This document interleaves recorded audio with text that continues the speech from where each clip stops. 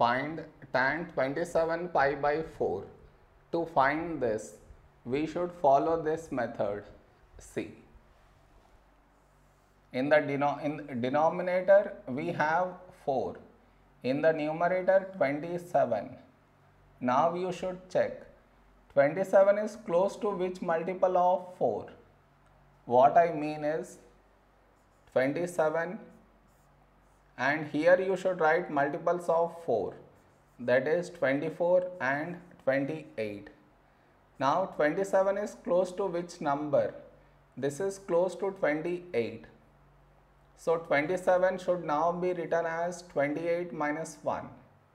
So this will become tan in place of 27 now we should write 28 minus 1 pi by 4. This is your step 1. Next, tan. Now you should open the brackets.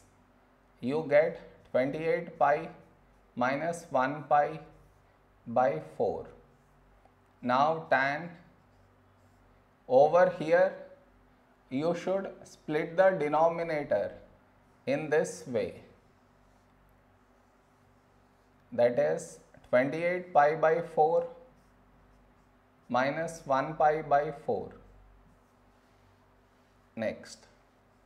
Tan.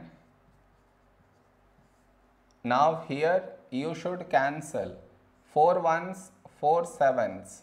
So we get 7 pi minus this no change.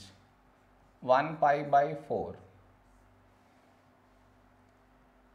next here we have pi. So tan is not going to change it will remain tan. And inside we get this angle pi by 4 now the question is will we get here plus or minus? To answer that you should look at the number before pi which is 7 and 7 is odd. And all the odd multiples of pi they lie in either in the second or in the third quadrant. So now to select the quadrant we should look at this symbol. Here we have negative. So the angle lies in the second quadrant and in the second quadrant tan is negative. So we should put negative. So negative tan pi by 4 is 1. This is our answer.